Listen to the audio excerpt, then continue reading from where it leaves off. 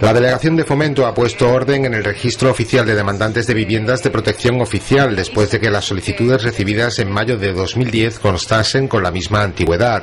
Para determinar el orden de inscripción de 850 solicitudes se ha celebrado un acto en el Palacio de Congresos con la asistencia de más de un centenar de demandantes y mediante un sistema informático similar al que asigna la composición de las mesas en las elecciones. Eh, teníamos que asignar un orden de inscripción eh, en este registro para poder proceder al examen ya de los expedientes y a la adjudicación. Tenemos 17 viviendas eh, que necesitamos ya mm, entregárselas a, gente que realmente necesita ya vivienda.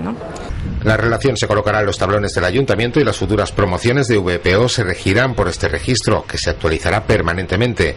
Por el momento se adjudicarán 17 viviendas aún vacantes en las promociones de las mesas, la lobilla y cancelada, pero el desempleo y la disponibilidad de las entidades bancarias a la hora de conceder créditos suelen afectar a estos procesos y hay personas que quizás en, su día eh, eh, podían asumir los pagos de una vivienda de protección, pero ahora mm, eh, han perdido el trabajo o, no pueden asumir los pagos. Entonces ahí es donde entra ahora el trabajo del Departamento de Vivienda, examinando cada expediente y, bueno, procurando que, que, el mayor número de gente posible pues pueda verse beneficiada. ¿no?